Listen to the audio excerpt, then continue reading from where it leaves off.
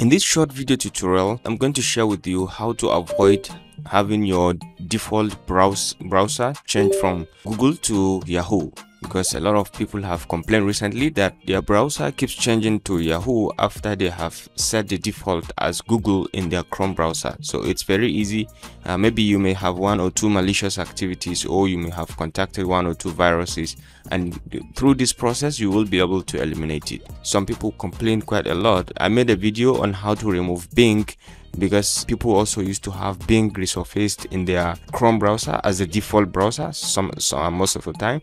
But then these simple tricks, these four simple tricks can help you eliminate that and you have your browser set to the default browser whether it's Google, whether it's Bing, whether it's Yahoo. Just follow this process and you should be okay. So to start with, all you need to do is start by opening your Chrome browser over here and then you can just come all the way down to the three dots over here at the top right. You just click on it and you can come to settings. Just click on settings and then you can come all the way to advanced okay? So you click on advanced and you can come to reset and clean up. You just click click on this and you can come here. This is the first thing. Clean up computer. You just clean up, click on this and you click on find. This is going to scan through your computer and find any malicious software any malicious thing that's causing this your chrome browser to behave abnormally. Share this with, with google but i may not always want to do that. You can just click to find and follow the process to eliminate that. So by just clicking on find it's going to help you to check through your computer whatever kind of software is causing trouble to you this is going to take some time depending on what kind of document and how much information you have set in your computer. But it's going to take some time to report whatever is happening, whether there's a malicious software or anything within your computer. Now, after you do this, this is the first step. The second step is going to be you can come back to the computer and you can go, go to restore settings to their original default. You just click on this and this is going to show you this. This action will reset Chrome settings and Chrome shortcuts, disable extensions, delete cookies and other temporary site data so you can just follow this process this is what is going to delete this is what is going to affect but fortunately for you it's not going to affect your bookmarks your history your saved passwords all won't be affected by this process so just click on this reset settings and it's going to get back all the settings back to the normal settings as if it's today you you installed chrome browser okay so this is the second method the third method is you can close on this and you can come back to the same three dots. You just click on this. You can come to more tools and in the, this time around you come to extensions. Okay, so you check through your extensions and see whether you have anything that you've installed recently that's causing trouble to you you just check through.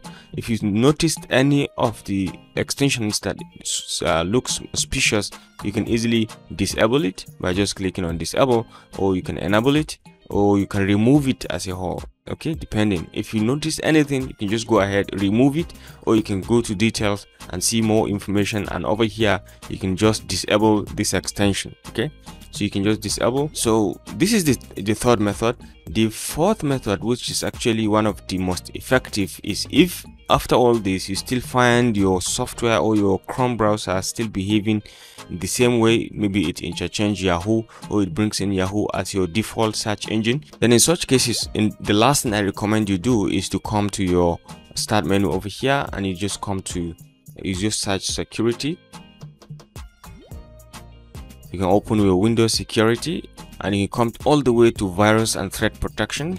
You just click on this and you can come to scan option but this quick scan but this time around you are going to do full scan on your computer okay? You just click on full scan and uh, scan options and you just come all the way to full scan and you can just select scan now. And this is going to check all files running programs on your hard disk. This scan could take longer than one hour okay? This is full scan and it might take longer than one hour depending on how much data how much information you have on your computer. But running this is going to be you're going to have this problem is going to be solved on your computer okay? So so feel free to try it through the three or the four methods depending on which one works best for you.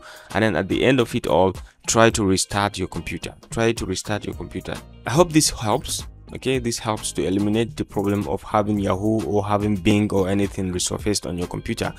If this tutorial proves to be helpful to you please remember to give it a thumbs up. And don't forget to always hit the subscribe and notification buttons to stay connected to this channel for more of our very very useful videos.